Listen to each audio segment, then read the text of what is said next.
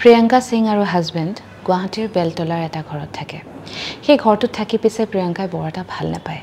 কাৰণ নিশা প্ৰায়েই তাই এটা কেঁচুৱাৰ কান্দোন শুনে। খিৰিকীৰ কাষত যেন কোনোবা এটা কেঁচুৱা ৰৈ কান্দি আছে। কিন্তু আচৰিত ধৰণে প্ৰিয়ংকাৰ হাজবেণ্ডে আজিলৈকে সেই মাতটো কেতিয়াও শুনা নাই। এই কথাটো যেতিয়াই প্ৰিয়ংকাই কয় তেতিয়াই হাজবেণ্ডে কথাটো পাতলাই দিয়ে। এদিনাখনৰ কথা হাজবেণ্ডে কিবা এটা কামত নগাঁৱলৈ যাবলগীয়া হ'ল। সেইদিনা প্ৰিয়ংকাৰ অৱশ্যে ভয় নলগা নহয়। গতিকে নিশা সোনকালে ভাত সাজ বনাই খাই শুবলৈ ল'লে। আৰু হাজবেণ্ডৰ লগত অলপ দেৰি কথা পতাৰ পাছত তেওঁ টোপনি গ'ল।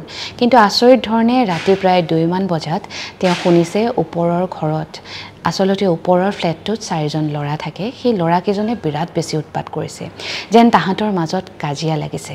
কোনোবাই যেন তাহাঁতক খেদিছে আৰু তাহাঁতে দৰ্জা মানে জোৰত জোৰত বন্ধ কৰি যেন নিজক ৰক্ষা কৰিবলৈ চেষ্টা কৰিছে। গোটেই এটা হুলস্থুলীয়া পৰিৱেশত প্ৰিয়ংকাই গোটেই নিশাটো উজাগৰে কটাবলগীয়া হ'ল। পিছদিনাখন ৰাতিপুৱাই তলত থকা মালিকক যেতিয়া কথাষাৰ ক'লে তেতিয়া মালিকে ক'লে যে ক'তা ল'ৰাকেইটাতো যোৱা দুদিন ধৰি ঘৰত নাই ঘৰটোত এটা ডাঙৰ তলা ইতিমধ্যে ওলমি আছিল।